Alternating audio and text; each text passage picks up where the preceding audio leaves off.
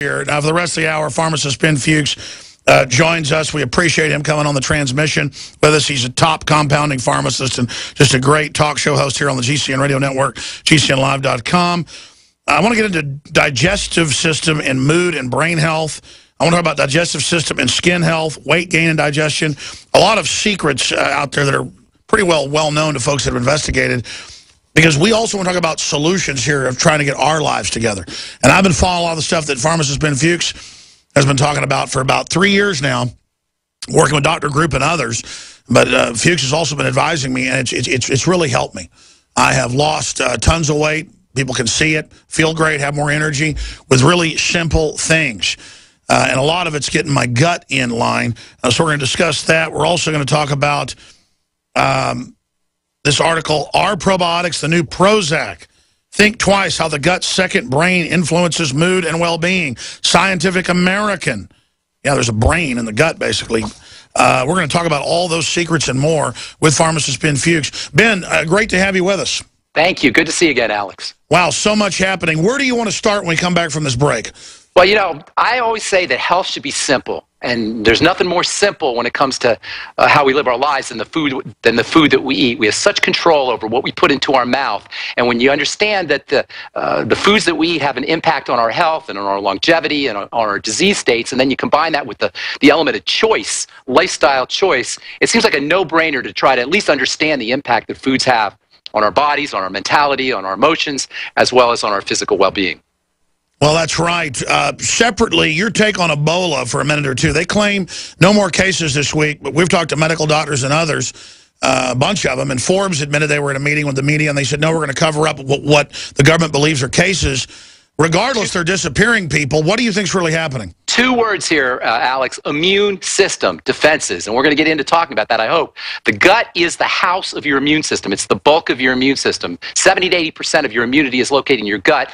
Fighting viruses, fighting bacteria, fighting toxicity, detoxification, all of this mandates that we take care of our immune system, which means take care of our gut. So if you're worried about the flu virus, HIV virus, Ebola virus, a shingles virus, now that's all in the news, you can do no better than take care of the immune system in your gut by making better food choices, using uh, probiotics as well as other nutritional supplements.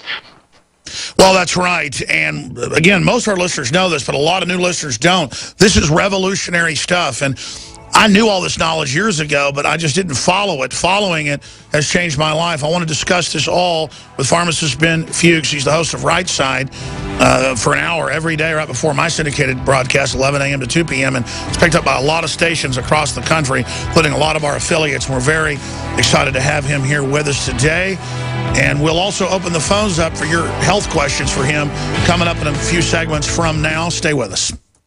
Bill and Melinda Gates are investing in weather control, genetic engineering, you name it. But their biggest investment in the last two years is gut flora. They know the BT corn, they own part of Monsanto, and the rest of it is manipulating the gut. They know this is all happening. And the gut, uh, as our other guests have said, has basically connections to the spine, to the brain, uh, the two are connected. Autism with gut flora problems is connected to what's happened with the kids along with vaccines. Think twice how the gut's second brain influences mood and well-being. Scientific American.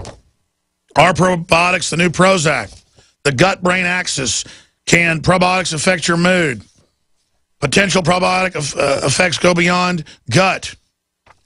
Uh, how your skin health reflects your... I mean, this is everything I heard Fuchs saying six years ago five years ago when I first became aware of him. And then now, this year, more and more of it is coming out. Very exciting. So, so this is a short segment. You got the floor uh, getting into this. And we're not even selling probiotics. I don't even have a probiotic, folks. I mean, even though B12, Secret 12, I mean, is a probiotic overall, um, it's not a microbe. Explain to people what probiotics are. I mean, I know they know what they are basically, but but but in a larger sense, how the gut works. Oh, Alex, probiotics are so cool for, on so many levels. First of all, how interesting is it that our uh, our entire lives are run by these little tiny bacteria that live in our gut, trillions of bacteria. Do you know there's 10 times more bacterial cells in your body than there are human cells? So in many ways, we're just like carrying cases for these bacteria. And what do these bacteria do? Well, they make vitamins. They detoxify food. They help us derive energy from our food. They fight cancer. They communicate with the cells of our intestine to accelerate the healing process. And one of the coolest aspects of these gut bacteria is they act as a repository of genetic material that can literally be shared with our own genes. In other words, we transfer genes from our bacteria to our, to our own cells. In essence, we are a form of walking bacteria via these interactions. And almost everything we do on a regular basis conspires to kill off these incredibly critical elements that live in our digestive tract. I'm talking chlorine in food, uh, chlorine in water. I'm talking fluoride in water. I'm talking antibiotics that we take intentionally. I'm talking antibiotics that we take unintentionally. Antibiotics in fish and, and in, uh, in dairy and in meat. All of these conspire to kill off the probiotics, which for most of us are already deficient because of how we uh, because of the birth process. You know one third of americans are born cesarean section and now we have voluntary cesareans where people are getting cesarean sections just so they don't have scarring on their bellies. This is the latest trend in hollywood to have an early cesarean section and pretty soon the average person is going to be encouraged to have a cesarean section. When a baby is born alex it comes out of the uh, comes out of the womb and it's supposed to be bathed with a coating of bacteria. That coating of bacteria that comes in from the mother's uh, from the mother's birth canal as the baby passes through goes into the baby's nose and into the baby's mouth, and it goes down the baby's digestive tract and implants in that baby's intestine. And from that point forward, those bacteria become that baby's personal, and I mean personal, health angels. In the future, we'll actually be able to identify human beings, individual human beings, by their specific bacterial population. By the way, the bacterial population is technically called the microbiome. And the microbiome, this universe of bacteria that lives in our gut, that's responsible for so many aspects of good health, is supposed to begin at the point we, uh, we enter into the world, as we leave the birth canal and go into, uh, and go into life. Now, if you're born cesarean section, if a baby's born cesarean section, a third of babies are, and more, uh, grow, uh, the numbers are growing, that baby's going to be deprived of those initial bacteria, and that means from that point forward, that baby's health is going to be compromised. Now, it gets even worse because the baby's digestive tract and the bacteria that have implanted or theoretically have implanted in the baby's digestive tract are supposed to be are supposed to proliferate via the activity of breast milk. That's one of the main roles of breast but milk. But we don't give them that. And then when exactly. they get big, they eat GMO corn that has pesticide in it that All kills it. the good bacteria. And yeah. All of it. Uh, so here's the deal, Alex. The baby's a day old, two days old, a week old. His health is already compromised for the rest of his life. And the baby hasn't even gotten out of the They're not uh, getting the gotten out of hospital colostrum. The, the, the, the- they're None not getting the bacterial coat of all their mother's immunities. They're None not syncing with mama. And of course, the medical system at the top has no idea what's going on. It's all been planned, and we even have all the documents. The average doctor doesn't know, though. They're compartmentalized. Pharmacist Ben Fuchs is going to be hosting when he comes back. We're on the march. The Empire's on the run. Alex Jones and the GCN Radio Network.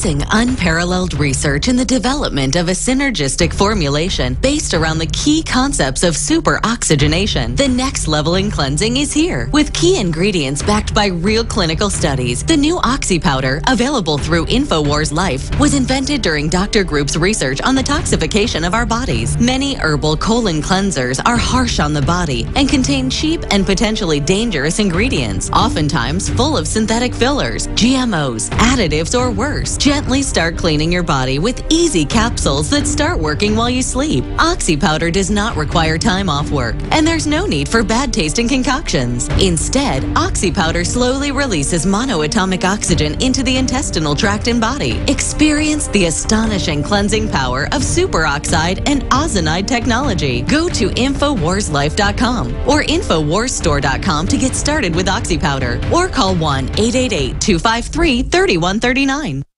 The government's Department of Homeland Security is buying up loads of ammo. At the same time, they're restricting civilians' rights to own and purchase firearms. Can you put two and two together? Infidel Body Armor can stop every round, including hollow points and 308 sniper rounds, is reasonably priced and fully legal. But for how long? Go to infidelbodyarmor.com, spelled I N F I D E L bodyarmor.com. Infidel Body Armor. Just won't quit. After consulting top doctors, nutritionists, pharmacists, and others, we have developed what I believe is the ultimate non-GMO organic super male vitality formula. Super male vitality by InfoWars Life is so powerful that I only take half the recommended dose. I jump out of bed ready to fight these criminals every day. I, look forward to waking up and, and taking my super male vitality. Visit InfoWarsLife.com today to secure your super male vitality and other powerful products from InfoWars Life.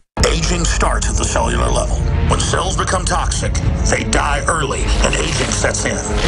In the past decade, we have witnessed unparalleled scientific discoveries. During that period, key patented compounds have focused on mitochondrial growth, nerve growth, and rejuvenation.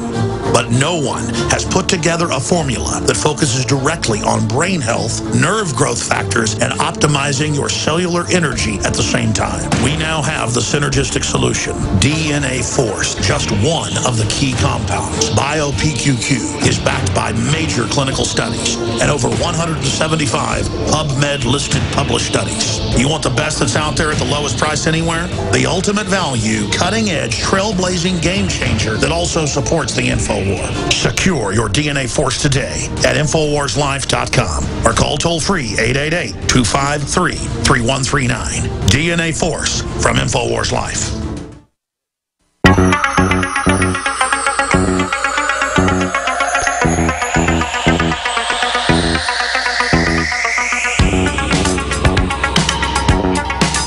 Waging war on corruption. It's Alex Jones. All right. Thank you so much, guys. Thank you, Info Warriors, and thank you, Alex. It's an honor to be sitting in for you here for the next 18 minutes or so. So I was just going to continue talking about the importance of gut health. For you guys who have listened to me on the bright side, you know that I, I love the simplicity of health. We get, we get so confused by all the different aspects of disease states and all the different body parts and all the different chemical reactions and all the different molecular aspects of the human body that we forget that health is really a simple matter. I call it the triangle of disease or the triangle of wellness, depending on how you look at it. Fix your digestive system, stabilize your blood sugar system, and relax the adrenal glands. And it's really eh, not a very difficult process. And once you start to do all of these things, beginning with digestive health, you'll notice that whatever your health condition is, whether it's something as benign as ac- something as mild as acne or or psoriasis or something as horrific as heart disease or cancer will begin to uh, the symptoms will begin to ameliorate, mitigate, reduce, and ultimately you can reverse any health challenge. Any health challenge, even uh, even a cancer, even stage four cancer has a history of remission. Not that everybody remits, but people have remitted, and if one human being can remit, any human being can remit. So how do you do it? If you're dealing with a degenerative health crisis, if you're dealing with a, a, a autoimmune disease, if you're dealing with a skin, a skin condition, what are the practical steps that you can take? Well, first and foremost, you gotta address digestive health. We are manipulated by food. We have an empire of food, and it's been that way historically since the days of Sumeria, going into uh, ancient Egypt, and then Rome, and then Europe, and now the American Empire. Humanity has been manipulated by food for eons, for 10,000 or 12,000 years. So getting control of our food, getting control of our, uh, our, dige- our digestive health, learning to uh, free ourselves from the tyranny and the hegemony of the empires of food is job number one. Not only if we're dealing with a degenerative health crisis, not only if we're dealing with a health issue, but simply for our longevity. Simply, if, we, if we're healthy and we want to stay healthy, learning how to control digestive health is job number one. As I was talking before the break, it all begins to tumble out of control woefully early. As soon as we leave the womb, for many of us, our digestive health becomes compromised because we don't get that bacterial shower that's supposed to occur as we go down the birth canal uh, in the birth process. When you go down the birth canal, what's supposed to happen is bacteria are supposed to bathe the body, uh, the, the baby's body, and those bacteria go into our, the baby's nostrils, into the baby's mouth, and plant in the gut. And from that point forward, those baby, uh, those bacteria become that baby's best health friends. If that doesn't occur, either because the baby is born cesarean section or because uh, the mother is not healthy and the mother doesn't have the appropriate bacterial flora, that baby is going to become immediately compromised. As the baby goes through life or begins, the, uh, begins his or her life, the baby's gut is supposed to be further enhanced uh, and further grow. Uh, uh, growth is supposed to further be encouraged by breast milk. Well, we know one third of babies aren't breastfed. So again, the baby becomes compromised at the digestive health level. Then the baby, of course, goes into the standard American diet, and that's really when it all tumbles out of control. See, once the digestive system become comprom- becomes compromised, the babies and our ability to extract energy from food becomes compromised as well. Once we can, once we have a problem extracting energy from food, our blood sugar starts to become unstable. Once we have problems extracting energy from food and extracting sugars from food, extracting nutrients from food, the body's insulin processing and blood sugar process, processing get thrown off. And eventually that leads to conditions of low blood sugar and high blood sugar. I call it the low blood sugar, high blood sugar roller coaster. And eventually that leads to diabetes. And we all know that diabetes is an epidemic just as much as digestive health conditions are epidemic. In fact, one third of Americans are uh, pre-diabetic or diabetic, and this is related to obesity. In fact, it's related to pretty much almost every health condition you can name. The medical model will tell you that there's something called metabolic syndrome. Some of you guys may have heard of this condition. Metabolic syndrome. A syndrome is a disease state that has uh, uh, various different symptoms associated with it. Metabolic syndrome has symptoms like high blood pressure, obesity, autoimmunity, uh, inflammatory diseases, movement disorders, mental health issues. Basically, everything we suffer from is associated with this health, health condition called metabolic syndrome. Well, if you Google metabolic syndrome, you're going to find that metabolic syndrome and dys glycemia or messed up blood sugar go hand in hand. So you got your digestive system gets whacked out, starts woefully early. The blood sugar system gets whacked out. That's the next step. And from there, you go into almost every single health challenge you can name. But you know what, guys? That's great news. That's not bad news. That's good news because it means that no matter what our health challenges are, we have an incredible aspect of control that we can employ. We can stabilize our blood sugar, we can work on our digestive health, and once we do that, almost every single health challenge you can name will begin to reverse. Now, if you want to throw something else in, you can work with the adrenal glands, which are linked to the thyroid, but it's not even necessary. It's as simple as stabilizing blood sugar and working on digestive health. So, how do you do it? Well, working backwards with the blood sugar system first. How do you work with the blood sugar system? How do you stabilize blood sugar? One of the most important things you can do to stabilize blood sugar is to eat less calories. Every time we eat anything, really, but every time we eat the standard American diet, most especially, our blood sugar goes up. The body's response to elevated blood sugar is to pull that blood sugar down. We get tired, or so called hypoglycemic. We end up going to get some more food. Our blood sugar goes up body pulls that blood sugar down. By the way, sugar is uh, represents a toxic element to the body. Sugar is very explosive. If you've ever put a marshmallow into a, a fire and watched that marshmallow go poof, you've witnessed visibly how explosive sugar is. Uh, sh uh, sugar, uh, there's a, a, grain silos in the Midwest that uh, you're not supposed to smoke in because the sugar, which is which is the same thing as the the grain dust, is very very explosive. The body uh, has a way of eliminating sugar, of reducing sugar, and uh, it does it very efficiently, at least at first. And as this high blood sugar, low blood sugar roller coaster continues, this is where uh, this is where our health begins to degenerate. So by eating less calories, and I'm talking all calories here, really, not just calories from processed food, by, by eating less calories, we can begin to start to stabilize our blood sugar. A second great strategy for stabilizing blood sugar is to eat more protein and to eat more good fat. Yes, I said eat more good fat. Don't pay any attention to the nonsense about keeping your fat intake low as long as that fat is good. Coconut oil, for example, is a stupendously important fat. And not only is it a, a great fat just for giving your body a good, a good source of fat and a good source of vitamin E and a good source of something called medium chain triglycerides, which the body can use very effectively for energy.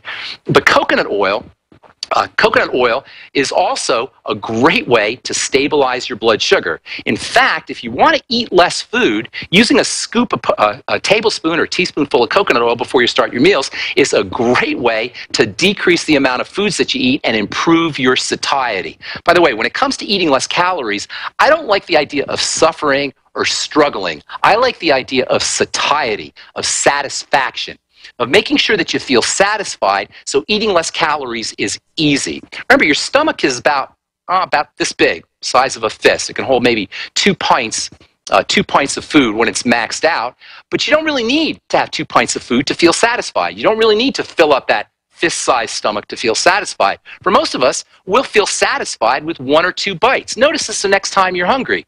Notice the next time you're hungry when you decide to eat that after one bite or two bites, you're pretty much satisfied you pretty much don't need to eat. Now, most of us, including myself, will continue eating. We'll basically finish the amount of food on our plate.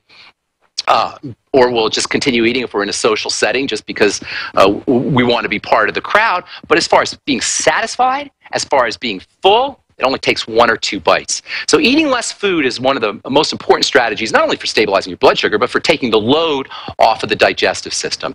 You can also use micronutrients, that is vitamins and minerals to help stabilize the blood sugar. There's two very important minerals. There's actually three very important minerals that are involved with blood sugar control. Magnesium is one, chromium is another, vanadium is another. If you go to InfoWarsHealth.com, you'll find a really cool product called Sweet Ease, which is made with chromium and vanadium. You'll find another product called the uh, Uh, beyond OsteoFX, which is made with magnesium. All three of these minerals are very important for sugar metabolism. Zinc is also very important for sugar metabolism, and zinc deficiency, by the way, along with magnesium deficiencies, are really, really common and very tragically common because they're so easy to replace via supplementation and foods.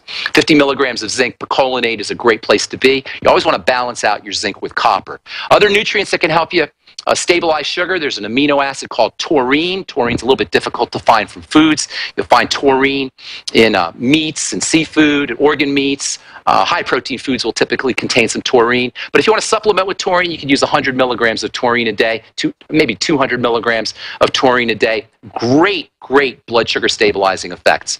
Arginine, another super duper amino acid, not only important for helping stabilize, uh, stabilize uh, uh, blood sugar, but arginine is also very important for building, for immunity. It's got antiviral properties. Arginine is also uh, Arginine can also be helpful for helping the body secrete growth hormone, and arginine is stupendously important for heart health. These are all, by the way, deficiencies, uh, nutrients whose deficiencies are really common, tragically common. And I'm telling you, as a, a nutritional pharmacist, as a pharmacist who uses nutrients in my practice, it's hard for me to believe that these nutritional deficiencies, which are so common, are not somewhere located, somewhere behind our absolutely abysmal state of health. This is why I have such a problem with physicians and with doctors and with medicalizing. We really don't need to be medicalized. Yeah, sure, if you get hit by a car, you get hit by a bus, you have some kind of accident, you may need to have some kind of uh, some kind of surgical procedure done. I call it heroic medicine. Heroic medicine was where they stitch you up after you have some kind of traumatic injury.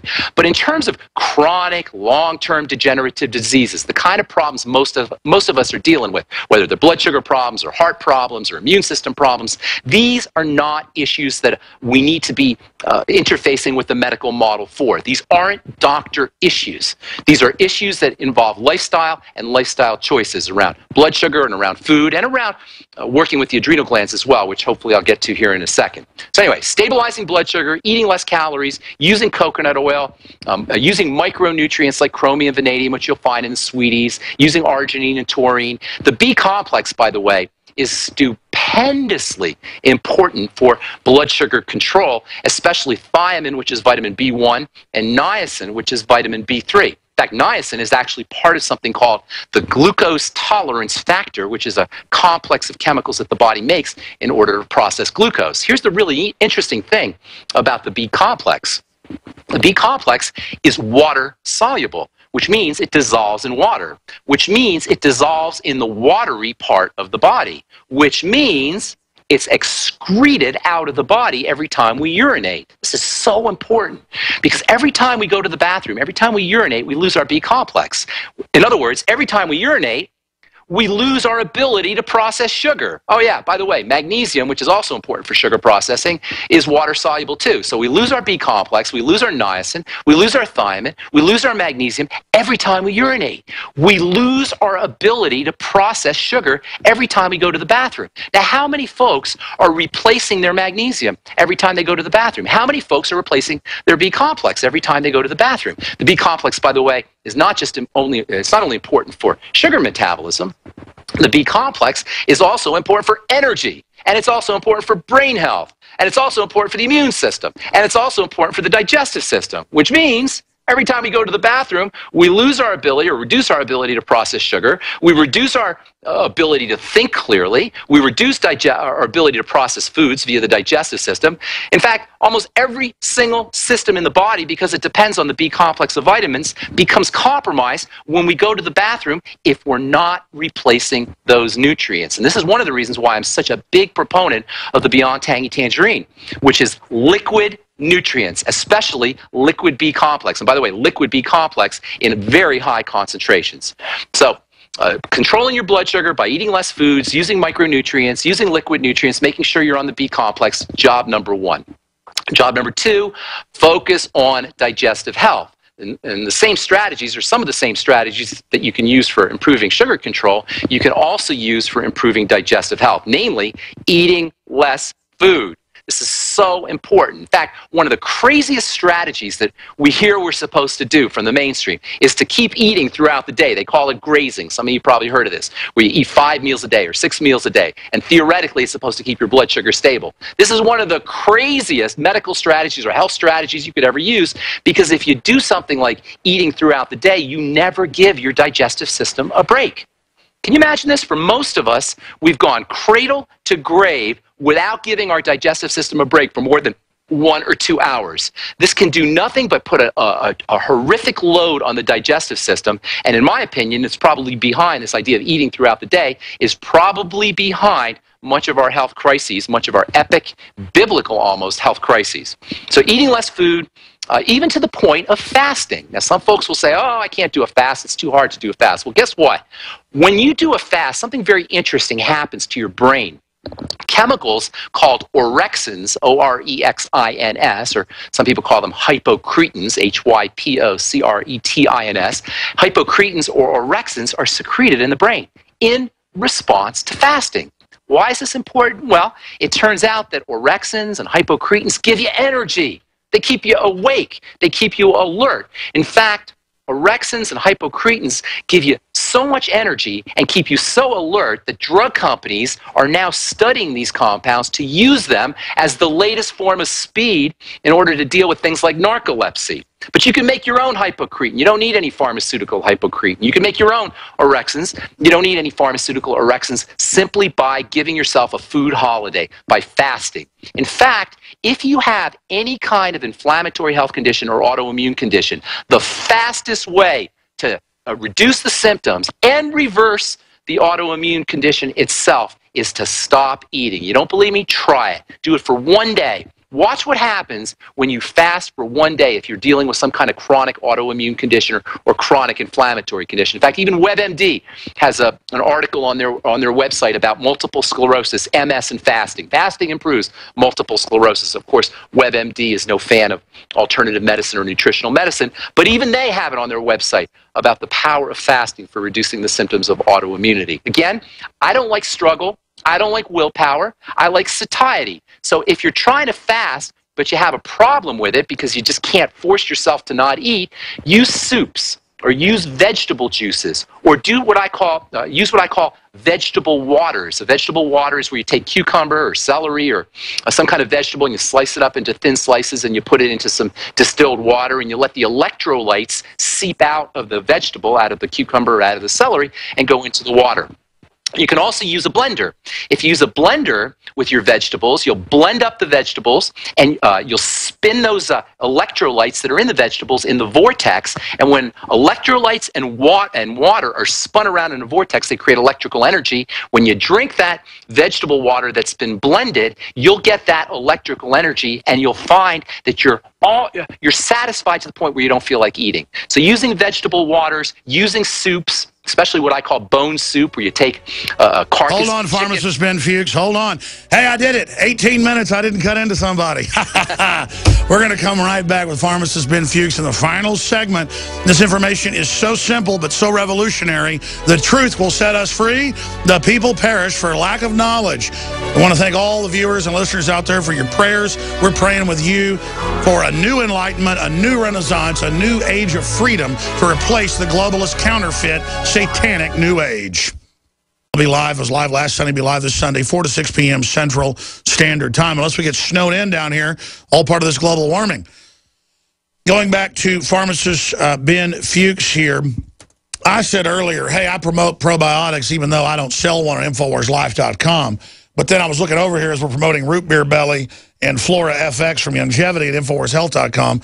I guess technically uh, I do, but what I mean is I don't really promote it because uh, I end up getting brands at Whole Foods and stuff. Uh, but I have uh, started taking Flora FX uh, and also the enzymes, and have really, uh, I, I, I don't know about these probiotics, so I just take randomly a whole bunch of different ones. I don't know if that's probably the best thing I'm doing. Uh, what's your view on that, pharmacist Ben Fuchs? Right. There's two ways to do your probiotics. Number one, what you're talking about now, by supplementing with them, with the root beer belly, the Flora FX. I, there's a product called Biolumin Nightly Essence, which is a Youngevity product, which is my favorite probiotic.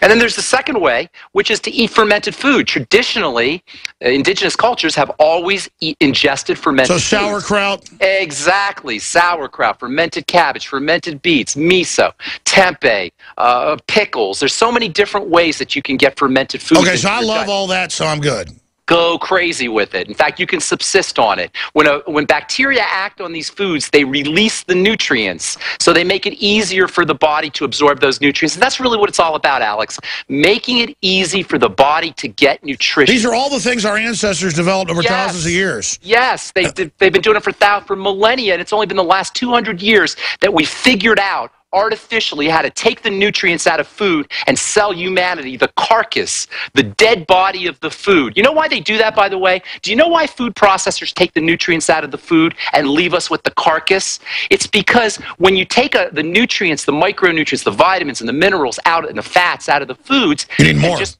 no, the foods last longer. Oh, sure, the bugs, yeah. The bugs won't eat them.